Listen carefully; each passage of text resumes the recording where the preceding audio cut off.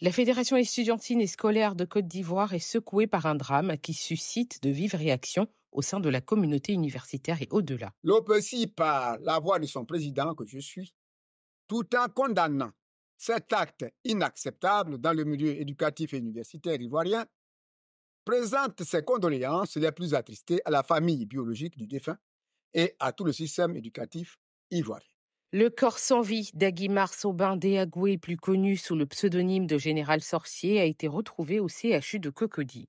L'Organisation des parents d'élèves de Côte d'Ivoire lance un appel aux autorités et aux parents d'élèves.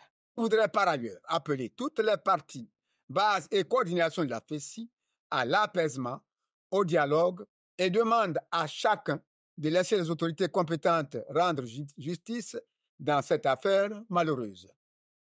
L'OPC demande au ministre de l'Enseignement supérieur et de la Recherche scientifique, professeur Adama Diawara, de peser de tout son poids afin de préserver le climat paisible qui prévaut en ce début de rentrée scolaire et universitaire en Côte d'Ivoire. Selon les premières informations recueillies, Général Sorcier avait de nombreux désaccords avec Camboussier, ce qui le plaçait en tant que figure d'opposition notoire au sein de la FECI. Le secrétaire général de la Fédération estudiantine et scolaire de Côte d'Ivoire, Camboussier, et certains de ses compagnons ont été interpellés par la direction de la police criminelle Brinor.